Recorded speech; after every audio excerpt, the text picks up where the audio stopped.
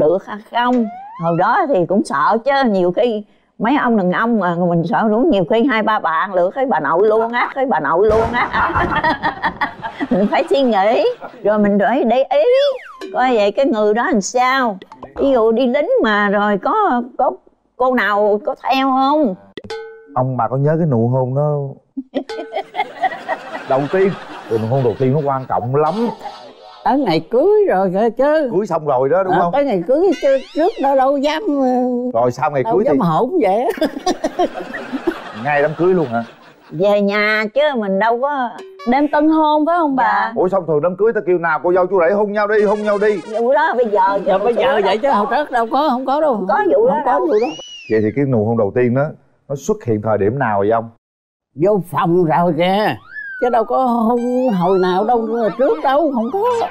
Bà này bà chuẩn bị ở đâu sẵn một cái dĩa với ba cái chung với nhạo rượu cái ờ, rót ra lại cái bự- gì á trao thân gửi phận gì đó. Là đêm tân hôn á? Dạ dạ. Là thì phải có cái phải có mâm à, rượu đó. Dạ. Mới mới rót rượu ra. Rót rượu ra. Ai rót bà? Dạ tôi rót ra rồi mới bưng ra? ờ, cho bà bà má chồng rồi quỳ xuống trao thân gửi phận. Đó là thủ tục đó chú. Ừ, thủ tục hồi xưa là phải vậy đó. Còn con đêm tân hôn con có nôn không? Con quên luôn rồi. Hồi xưa mắc cỡ lắm. Coi như là nói đêm tân hôn rồi chứ đâu có động phòng động gì chưa đâu. Mắc cỡ gần chết rồi ai dai mỗi người dai một hướng. Vậy đó hả? Ủa sao kỳ vậy. Bây giờ á là cũng như quen nhau là sắp lại dạ là đi chỗ này chỗ kia chơi thì ấy còn giờ hồi xưa đâu phải như vậy đâu. Rồi chừng nào mới gần lại. Hai ba đêm sau kìa. Nằm quay lưng lại với nhau rồi nói gì nói em ơi em ơi ngủ chưa? Hỏi tầm bậy tầm bạ vậy ha. ừ hỏi đâu không ra gì rồi thật không trúng vào đâu. Đó bà? Hình như đêm thứ hai á mới bắt đầu mà có đụng chạm. À, có đụng chạm. Ai chủ động không thì luôn luôn là phái nam phải trước. Ông sao? Ông ông đó ông nói cái giả gì? nắm nắm ngón tay bà ông nói thì sao ông? Nói chứ trước tôi đó bà có quen với người nào không? Có người nào mà để ý bà hay không?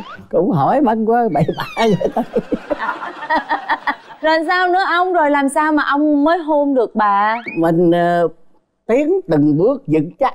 Rồi nắm tay nắm ngón thôi. Rồi thấy ờ, không có phản ứng gì thì nắm bàn tay. Đó thì lần lần coi như tiến từng bước vững chắc là nói vậy chú biết rồi. Bây giờ tôi thấy là quá mức chưa thiệt. Hồi xưa không có vụ đó đâu. Nếu ông không chủ động tấn công thì sao? Thôi thôi bây giờ tôi không biết sao không? Dạ. Chứ cái hồi đời tụi tôi còn nhỏ đó như vậy sáng bữa sau mắc cỡ lắm nha. Ủa sao mắc cỡ? Ờ không biết sao kỳ vậy không biết nữa. Tự nhiên mình không có gì hết rồi trơn mà không bây giờ phát ngủ chung nhau là không mắc cỡ sao được. Giờ đâu mắc cỡ? Thời giờ mừng muốn chết luôn vậy.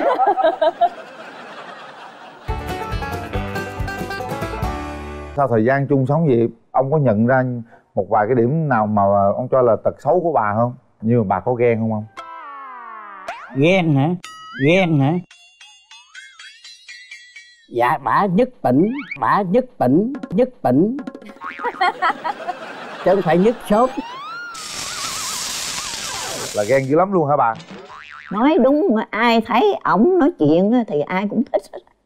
Nhưng xin mời à, cô ông giới thiệu về mình à? Trước nhất tôi xin có lời chào trong tất cả anh chị em trong cái buổi ờ, họp mặt hôm nay. Cụ à, năm nay bao nhiêu tuổi rồi cô ông? Dạ thưa 90 còn à, bà là nhiêu? Dạ 85 cộng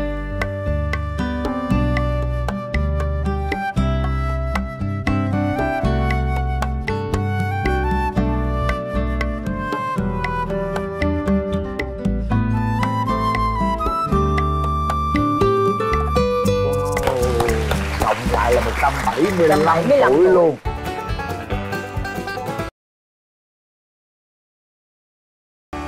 Ông là có bao nhiêu người con rồi? Dạ chín người con một trai tám gái. Cháu có có được mấy à? Ba bốn đứa rồi à, cháu cháu cháu cố thì hai ba đứa rồi còn cháu mà cháu kia nhiều quá giờ nhớ không hết. Nội ngoại nhớ là không nhiều hết. lắm. Dạ dạ. Ông ông có thể nhớ được ờ, tên bao nhiêu đứa không? Cháu hả? Kể thử coi được cháu bao nhiêu đứa con bé thảo. Con bé thảo. Đó là ba đứa cháu cố. Không, mà mà bé thảo nó tên gì?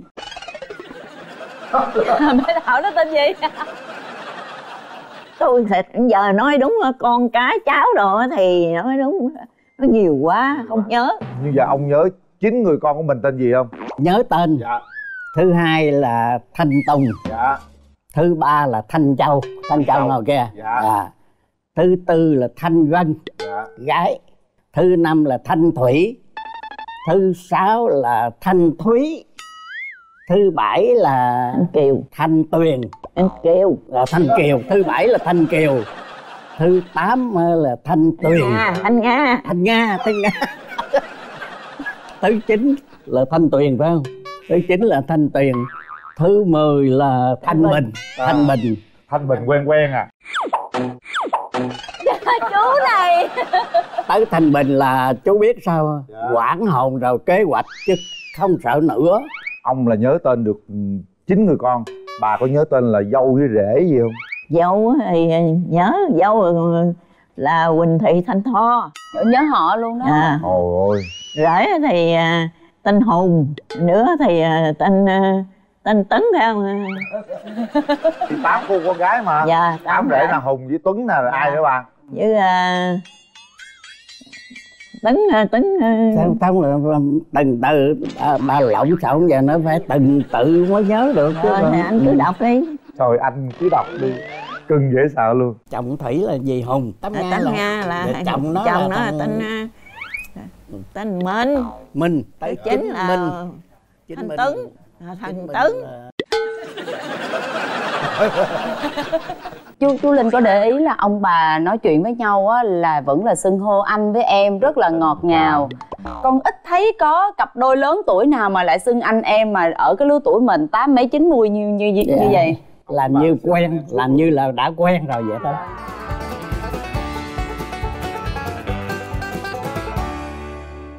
Không biết là lúc mà ông bà mới gặp nhau á ông bà yêu nhau như thế nào? Ông bà kể lại cho tụi con nghe được không? À, gặp nhau trong cái việc hơi bất ngờ một chút. Ông nhạc gia của tôi gọi là ông già vợ đi cho dễ dễ biết đi. Dạ.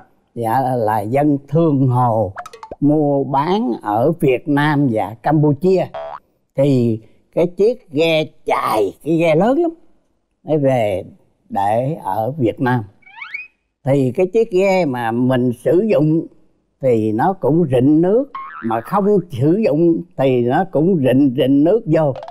Bà này thì có cái nhiệm vụ là cứ một hai ngày là phải xuống tát nước ra. Dạ. Thì trong khi đó tôi thì là quân nhân giữ cái cầu đi xuống thấy bà này là nữ cứ một vài bữa thì xuống tát nước ghe mà tát nước ghe thì đẫm mồ hôi. Mình thấy mình cũng cũng hơi sốt ruột. À bữa nay cô để tôi tác giùm cho con bữa đi thì tác giùm được một bữa rồi thì khỏi nói rồi. Là tắt luôn đúng không? Trong khi tát nước ghe đó bà này tát nước ghe mới để ý coi bà này nhà ở đâu. Thì khi mà biết được nhà rồi đó thì mới là xuống đó có cái bình hồi xưa 5 lít xuống đó xin nước về uống. À. Còn sinh hoạt thì nước sông.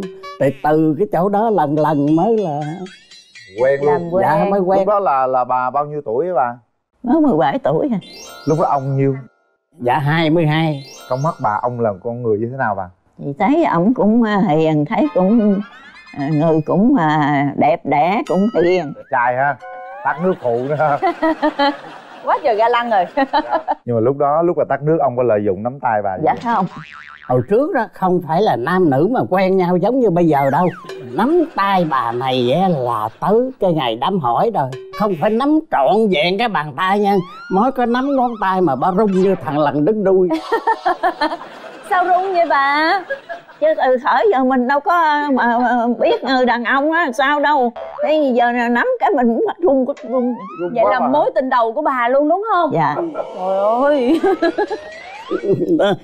Mấy đào mấy cái nắm cái ngón tay cái thì thấy êm rồi êm rồi mới nắm bàn tay. Không có phản ứng gì mới nắm. Chọn bàn tay. Lúc đó bà run lắm mà hả? Nó run lắm. Ờ, cái người của mình nó không biết nó sao nói nữa chứ. Cái đám hỏi nắm tay run run đó. Rồi chừng nào mới tới cái vụ cái nụ hôn đầu tiên đó ông? Trong đó lâu lắm không có vụ đó đâu. Không có đâu. Không có. Không có phải nắm tay xong rồi tuy Ờ, là tên nắm tay không à chứ không dám vụ kia đâu vậy tới chừng nào mới hung được vậy ông? Là thì chừng nào cưới á, Cưới luôn. Dạ. Trời gian trúng trước khi cưới mình hung trước cái được không? Hồi đó là đâu à. có ví dụ à, xuống à, làm rễ cũng đứng xa xa xa xa. Chứ không có mà bước lại mà nói chuyện hay là gì không có vụ đó. Đứng xa xa ra hỏi cái gì hỏi trời ơi. Vậy ờ, đeo dây chuyền mà rung riết là móc cái móc không vô mà nhưng mà nhưng mà vậy đâu có hẹn hò với nhau đúng không? Không có không có. Thương nhau là thương ngầm thôi rồi mai mối. Từ lúc mà mai mối thương rồi đó vậy thì tối nằm có nghĩ tới người đó rồi có mong muốn được nắm tay người đó này kia không bà? thì tới đó là mình cũng suy nghĩ. Dạ suy nghĩ coi suy nghĩ coi vậy mà biết được hay không. Hồi đó thì cũng sợ chứ nhiều khi mấy ông đàn ông mà mình sợ đúng nhiều khi hai ba bạn lựa cái bà nội luôn á cái bà nội luôn á. Mình phải suy nghĩ rồi mình phải để ý coi vậy cái người đó làm sao.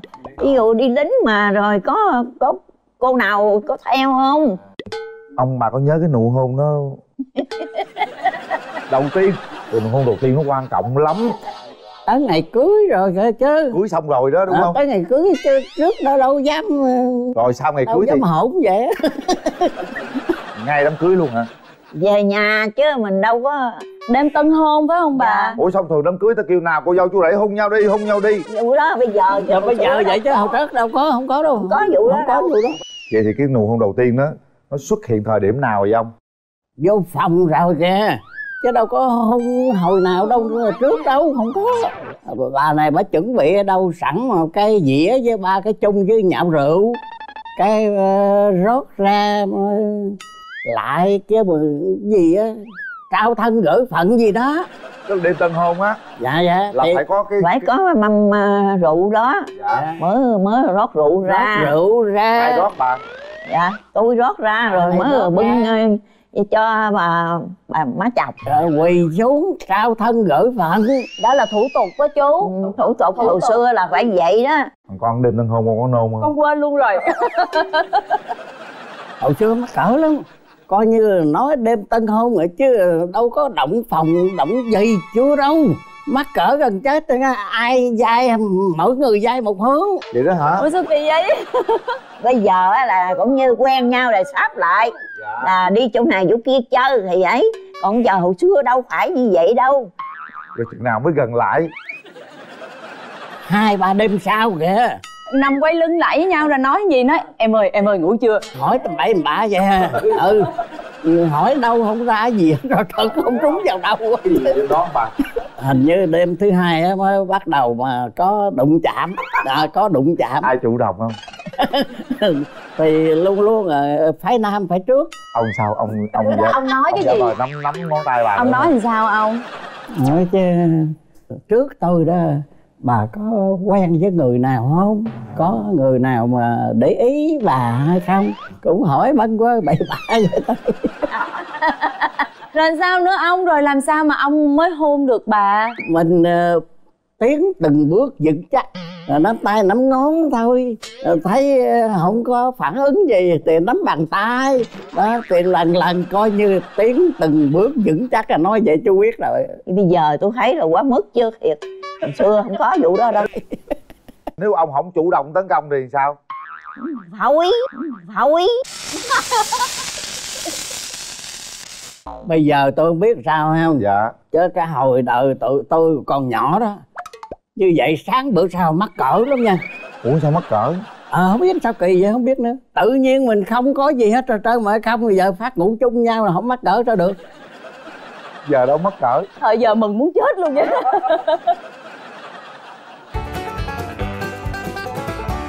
sau thời gian chung sống vậy ông có nhận ra một vài cái điểm nào mà ông cho là tật xấu của bà không? Như mà bà có ghen không không ghen hả? Ghen hả dạ bả nhất tỉnh bả nhất tỉnh nhất tỉnh. Chứ không phải nhất sốt. Là ghen dữ lắm luôn hả bà?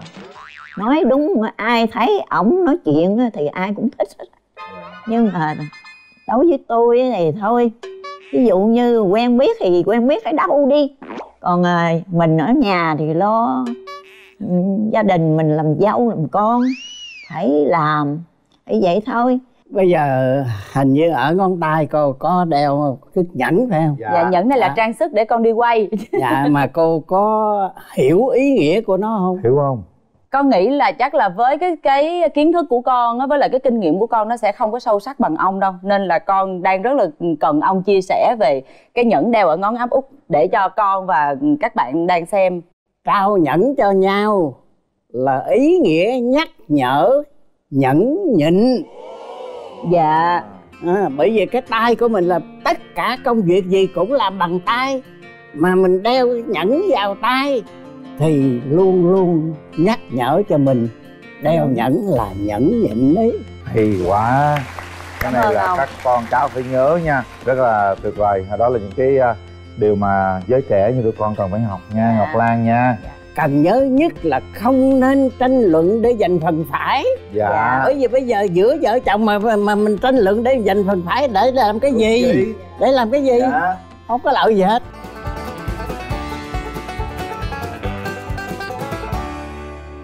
Bây giờ thì xin mời ông bà sẽ xem một đoạn clip chia sẻ của con cháu về ông bà. Dạ xin mời. Thì à, trong gia đình nghèo mà đông anh em thì thật sự nói có những lúc mà đi học về thì uh, dở nồi cơm ra thì chỉ còn cái nồi cơm không. Cái trẻ em bây giờ thì đi học về là cơm nước có sẵn hết rồi còn mình đi về thì phải đi phụ ờ, đi ra ngoài ờ, buôn bán rồi về mới là xong công việc đó rồi còn em út rồi còn phải chăm chút cho nó tắm rửa trong khi ba mẹ đi làm chưa về nữa. Chị thì may mắn hơn mấy anh chị đầu là vì ờ, thời thời đó thì ba mẹ cũng là khá hơn tí rồi. Ba mẹ chị thì ờ, cực nghèo từ hồi ờ, từ cái thời của ông bà lận. Chị có nhớ em chị nó nằm trên một cái ờ, cái võng á thì cũng mê chơi mà. Xong rồi cái em không có lo đưa nó cái võng nó, nó dừng lại á, thì nó thức dậy. Thế là nó rớt xuống đất té.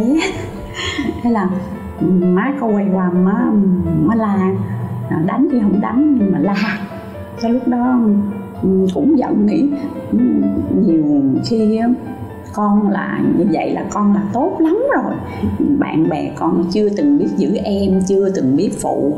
Mà mình, coi như là mình vô tình thôi chứ không phải là mình cố ý. Mà mình cũng bị la rồi, nhiều khi cũng thấy tủi thân. Nghĩ lại thì những cái việc mà nhỏ như vậy mình không làm được thì sao mình phải ba mẹ mình phải làm những cái mà thật lớn, thật vĩ đại. Giờ nghĩ lại thì thấy hơi chạnh lòng.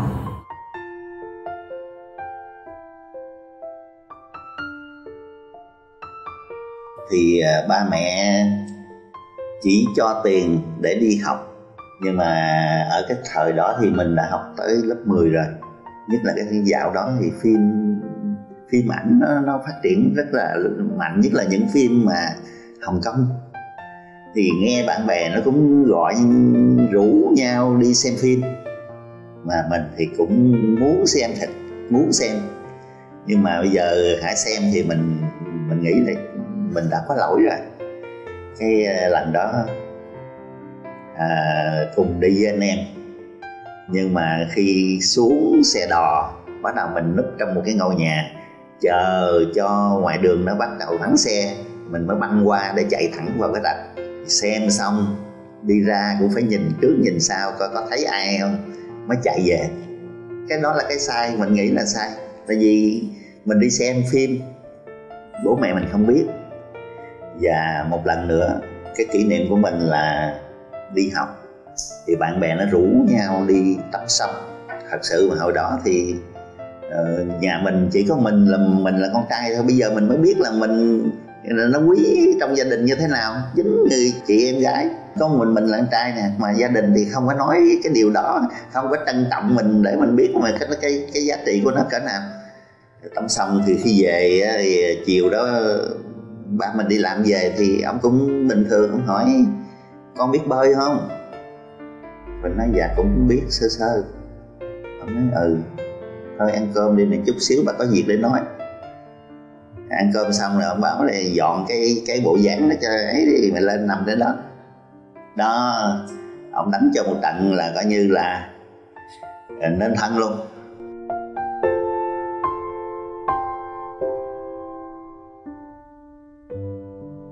Tuổi ba mẹ càng lúc càng lớn, thì chúng con lại càng sợ hơn nữa, sợ phải xa cha mẹ. Và ờ, không muốn, mong muốn gì hơn là chúng con sẽ làm tốt hơn, sẽ nuôi, noi theo cái truyền thống của gia đình mình và nhất là sẽ cố gắng để trở thành những đứa con có hiếu và để cho cha mẹ được vui lòng đối với con con luôn mong muốn, chỉ mong muốn một điều là ba mẹ thật mạnh khỏe. Sống tụi con dài dài hơn nữa. Thì cái đó là cái điều mà mong muốn lớn nhất của con. Cũng như tất cả các chị em con. Mẹ đã bên con, mẹ đã cho con lớn không biết nói gì hơn là con thật hạnh phúc khi con được là con của ba mẹ. Tình thương cho con bao la biết mấy, những đêm ôm con trong tay khóc bớt vai con. Mẹ có biết con yêu mẹ nhiều, dù câm nín nhưng con thật lòng muốn nói ánh sao đêm cho con sáng soi là mẹ yêu. Khúc hát dù con trong giấc mơ là mẹ yêu. Mẹ là cánh chim cho con bay thật xa. Mẹ sưởi ấm cho tâm hồn con mẹ yêu. Dắt con đi qua bao nỗi đau là mẹ yêu. Tiếng con yêu gọi ta suốt đời là mẹ yêu. Mẹ đừng mãi rời đi cho con một côi.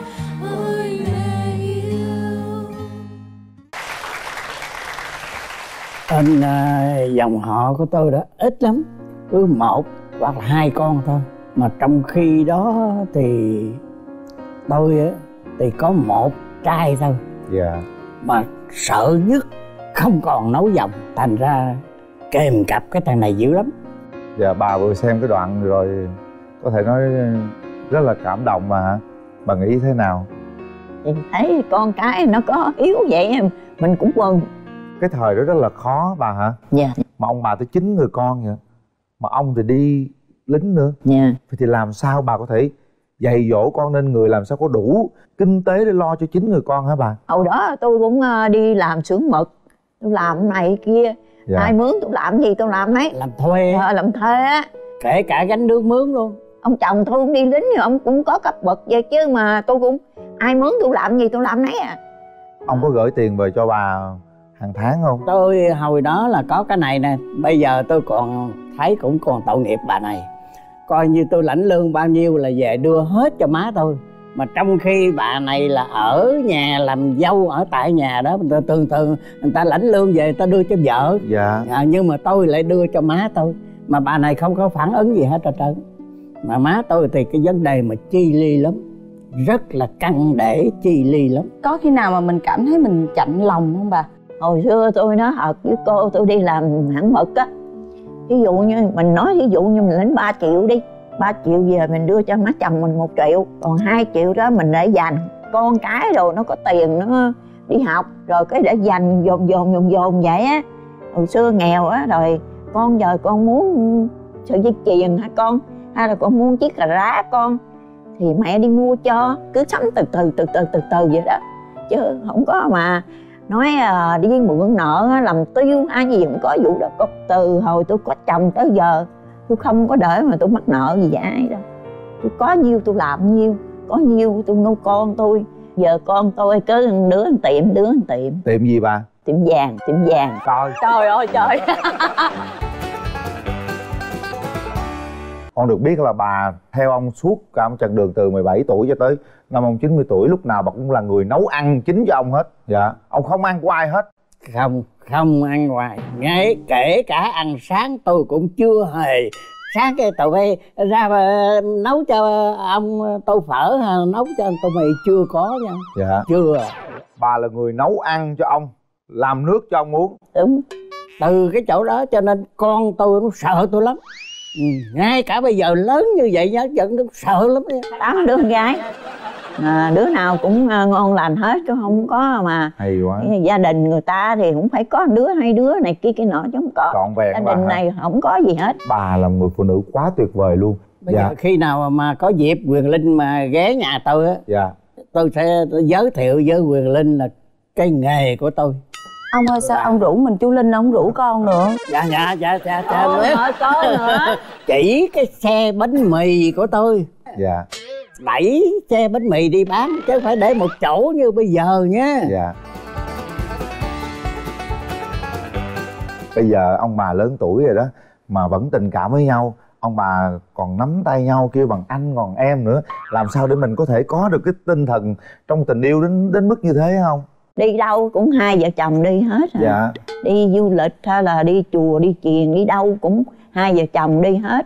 Nói tóm lại không bao giờ Không mà bao có giờ đi một mình ra. một mình một. Anh đi là có cặp có cặp. Trong ngày hay là nhiều ngày gì là dạ. luôn luôn là có cặp. Ở đâu cũng có cặp hết. Đâu cũng có có bao giờ ông rung động trước một bông hồng nào không?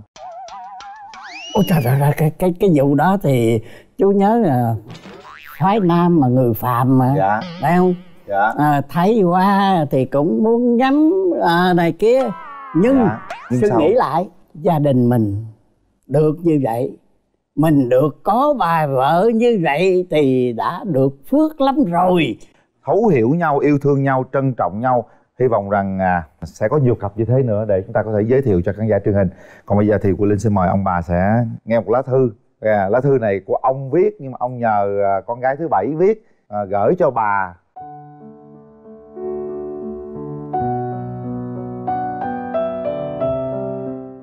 Tôi gửi đến bà.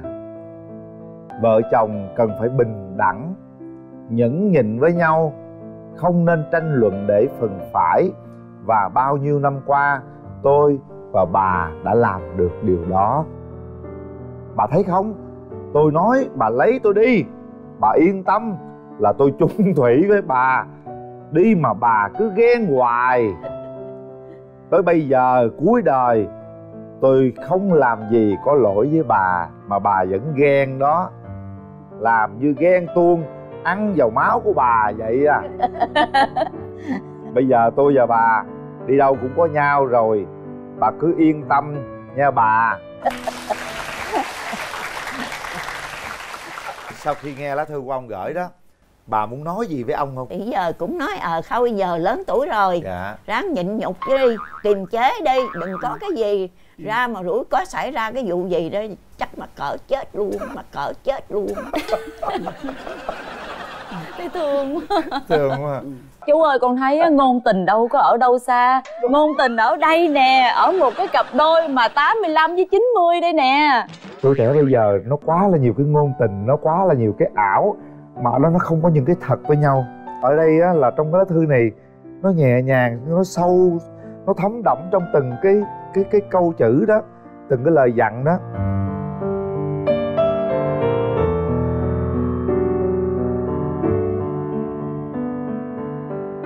Những câu chuyện ngày xưa bây giờ gần như nó xa lạ quá. Dạ.